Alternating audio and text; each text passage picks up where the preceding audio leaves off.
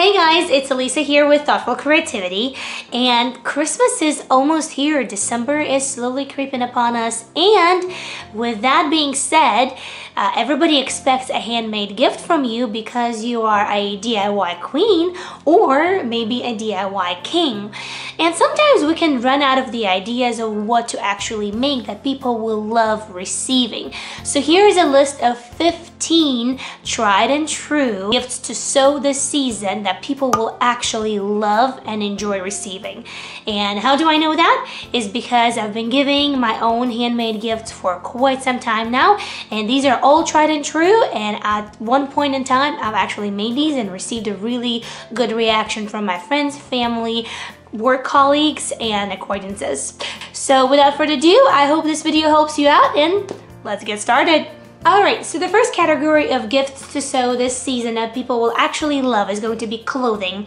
Pattern number one that you want to use for a really great and cozy pajama top is hemlock tee. Doesn't require any additional or specific measurements of the body. Uh, comes, uh, you can actually put it together probably within an hour and a half, maybe two hours. If you pair the pattern with a really nice holiday fabric, it's gonna make a great gift, I promise you. Yeah, pattern number two is going to be the slouchy cardigan from the Peppermint Sewing Mag. Again, it doesn't really require any specific measurements from the person whom you're giving this to. If you make it in a really nice cozy knit or maybe some heavyweight fabric, um, in a festive, uh, some sort of pattern, or maybe something that they really, really like, it's gonna make a great gift for that person. Now, the third uh, pattern that I would suggest for you is the hooded scarf. And and that pattern is actually my own pattern. It comes in uh, it, it, comes in one size but it also comes for free. So if you make it in a really nice cozy fur a faux fur or maybe some really nice heavyweight knit somebody uh, last time in a comment suggested maybe some velvet. Um, if you make um, this hooded scarf in one of those materials I promise you the person whom you're giving this to is really really going to love you.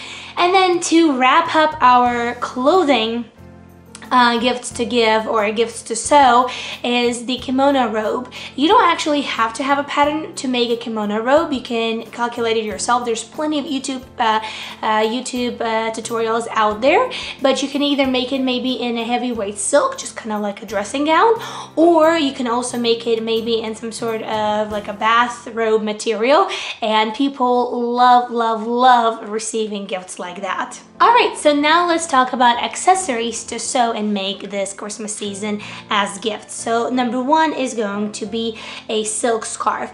I've made probably over three dozen of silk scarves in my lifetime as gifts.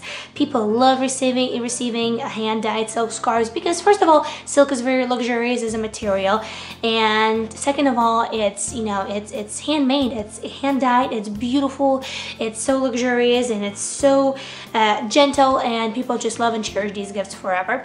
So to make this, you actually have to go to Hobby Lobby and pick up a already hemmed silk scarf that you can dye, or maybe you can just pick up a raw, some raw silk yourself and dye that way. And of course, some, some fabric dye. You can either get the Rit dye from Walmart or Hobby Lobby or Joann's, or you can opt for any other fiber reactive dyes that you can find and just dye your silk scarves. It's a pretty fast project. It's probably gonna take you no longer than a couple hours hours and then just one day to wash this through, um, heat set it and wrap it up and gift it away. The next accessory on our gift list to sew is super easy and straightforward, even a beginner can do it. It's a handmade tote. So you can make something like this uh, that I've repurposed from a Starbucks apron for a Starbucks lover or maybe a Starbucks employee, barista. Uh, you can make something a little bit more complicated, like an actual tote to use as a, uh, you know, as your everyday item, or you can make something super itty bitty cute and small, just for maybe for like um, cosmetics and anything like that. Super easy and straightforward project. A lot of people nowadays are using reusable totes at their place of grocery shopping and stuff like that. So you can make maybe a series of grocery shopping bags or totes. And remember, as a person who knows how to sew and creates these magical things out of fabric, you can also personalize personal, personalize these items and you have to personalize these items for uh, things like Christmas gifts. You can embroider them, you can uh, buy like letter patches and, and sew them on. So there's plenty of ways how you can make it super, super special this Christmas season. Now, to complement your hooded scarf or any other scarf that you might make as a gift this Christmas season, you can also make some mittens. I don't have any to show you as of this very moment because I haven't made any of the mittens for this Christmas season as gifts just yet, but there's plenty of free patterns out there and I'm gonna link some of them in the info box below, so definitely go ahead and check those out. And there's plenty of YouTube tutorials out there as well. So definitely, definitely make some mittens this season. Everybody needs a pair and make a pair in their favorite color or again make a pair with their embroidered initials uh, on the top of the mittens or any like maybe like a special message on the inside if you like sew a little tag that says I always love you or or um, let my love keep you warm this this holiday season. How special would that be? Definitely think about that as an idea now, next project is very versatile. It's a, a, zippered pouch. It can be a makeup bag, it can be a pencil pouch, it can be a, a little zippered pouch for tools. Uh, it just really depends on how you make it, what material you choose. And again, you can either choose some festive holiday fabric or something that the person whom you're giving this to really, really enjoys. You can embroider their monogram on top of the zippered pouch and there's plenty of YouTube tutorials out there. Some of them I'm gonna link link in the info box below, so definitely check them out whenever you're done with this video. Alright, and to round up our list of accessories to give as gifts this uh, Christmas season is a drawstring bag. And these are great for those people who travel. So if you have somebody who takes uh, often trips somewhere else, business-wise or just leisure, you can make two of these and one can say to wear, the other one can say to wash. Uh, for example, I made one of these in, for Thanksgiving for a person who does some yarn work so that she can put her yarn in here and do some yarn work on a bus or maybe at home home and it can always stay in one place and not tangle or anything like that. So definitely always put a thought into whom am I creating this for um, and what this person is going to use this for. You can also attach um, two strips of fabric and maybe uh, make it as a little backpack for a kid and you can always stuff it with Christmas toys and give it as that. So definitely one more useful thing to sew that people will absolutely love receiving receiving as a gift.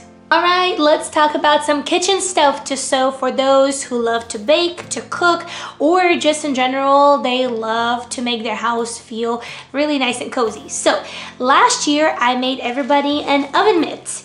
And people love these because who doesn't need an extra oven mitt in their life? Come on now. Uh, and a lot of times uh, when you buy a set from a grocery store, um, they only come with one oven mitt. So having an extra one, even if they don't match, is a really, really nice thing. So there's a few things to remember when you're making an oven mitt. Well, this one is this one I made for us and obviously it's a little dirty because we've been using it. Um, is you have to do a little bit of research of how to properly make an oven mitt and you have to uh, order an Insul-Bright um, a material that will keep um, your hand from the heat when you expose your oven mitt to the uh, hot air in the oven. Now I bought this on Amazon and the cool thing about it that, that it already comes with a pattern on the back of the actual package. I used a different kind of pattern that I found on um, on internet. Um, it was also a free pattern I still have it in there. Um, so I'll try to find it and link it in the info box below. But if you don't want to go through that trouble, you can always just order Insul-Bright and um, the instructions are on the back. Uh, and you definitely want to um, buy some batting as well and just do your research before you make one because you definitely want to make sure that they're safe to use in the kitchen environment. Let's talk about some personalized coasters or placemats again because you are the person who sews and makes these fabulous things out of fabric. You have the power to personalize them. These again are from my own kitchen that I made. Uh, these are just regular round uh, round kind of coasters or placemats or whatever.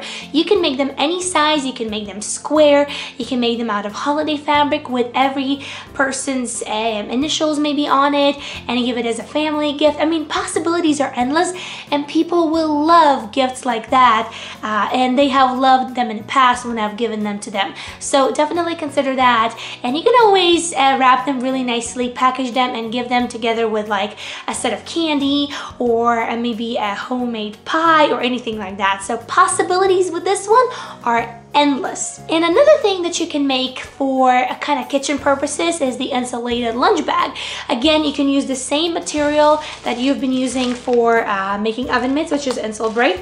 It goes both ways, I believe. It goes uh, protecting you from heat and keeping the heat in as well. So you can just make a really nice lunch bag uh, or insulated lunch bag for those people whom you know that take lunches to work every single day. Can you imagine how awesome would that be for them to receive a personalized lunch bag that they can show off to everybody um, at their workplace? that's a really special gift that everybody is going to love to receive.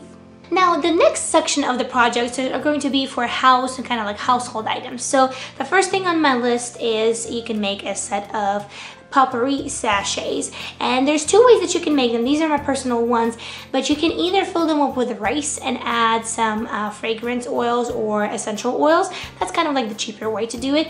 Or you can actually fill them up with dried herbs or like rose petals or maybe like peppermint leaves or anything like that.